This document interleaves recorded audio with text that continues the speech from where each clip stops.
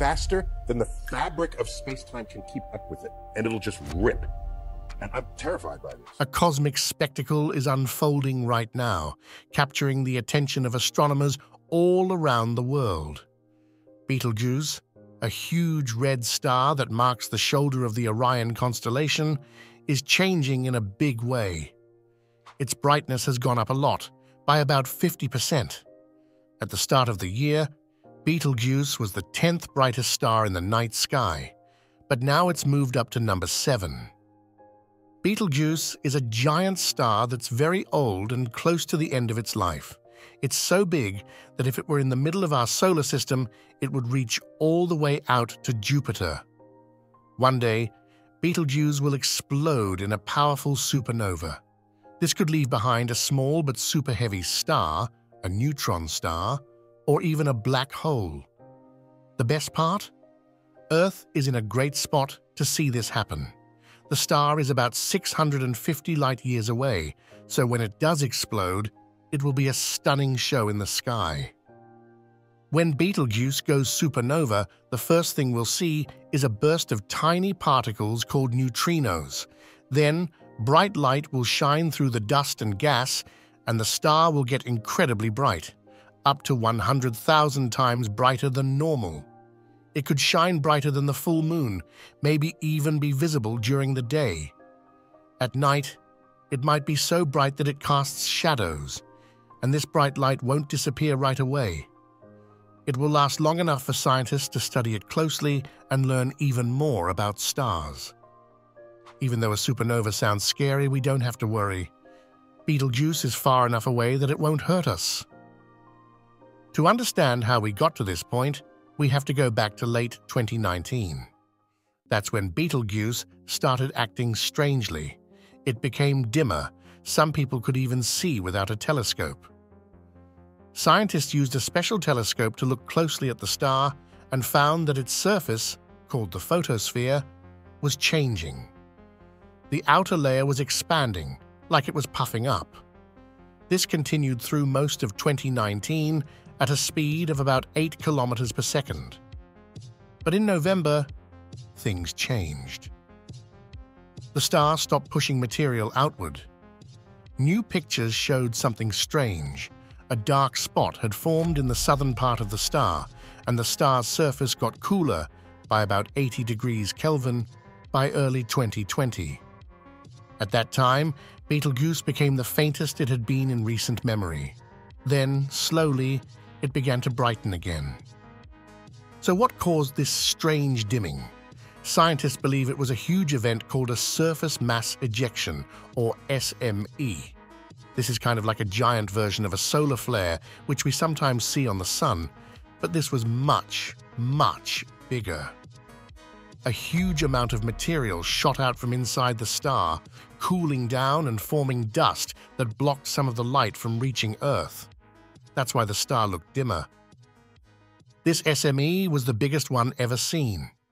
It blasted out about 400 billion times more material than a normal solar flare, about as much mass as several moons.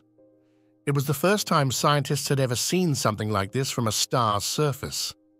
They even used the Hubble Space Telescope to watch it in detail, which helped them learn more about how stars like Betelgeuse change as they get older. The explosion caused Betelgeuse to lose a lot of its outer layer, more than it usually loses in a year. It's like the star ripped off part of its own surface, and now it's slowly recovering.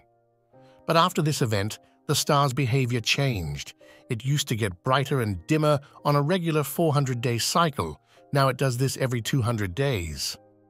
These brightness changes happen because the star grows and shrinks a little bit over time, changing how bright it looks. There are two main cycles, a shorter one, about 400 days, and a longer one, over five years.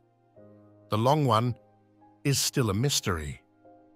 To better understand what happened, scientists made computer models.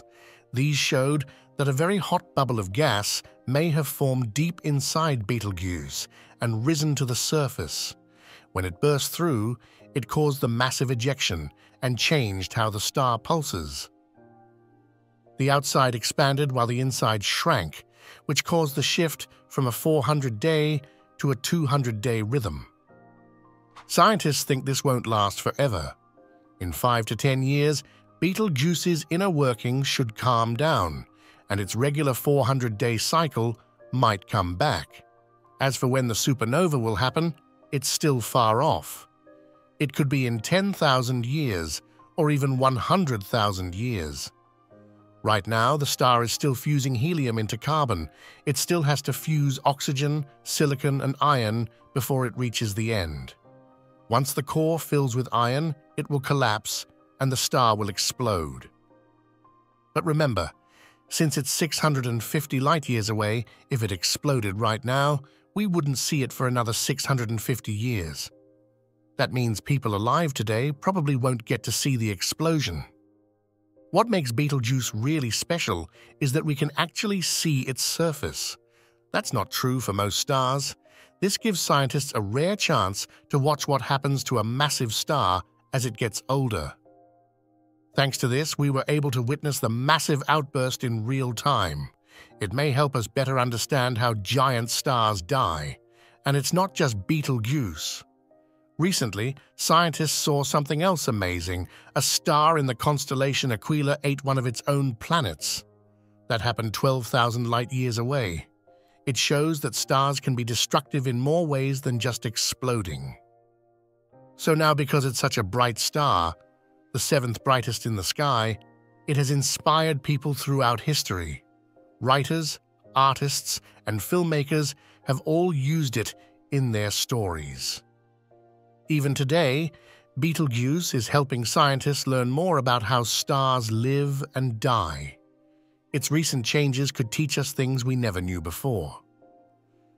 The story of Betelgeuse isn't over, and there's still so much more to discover. The universe never stops surprising us, and neither does Betelgeuse. Stick around for more cosmic wonders. Until next time, keep looking up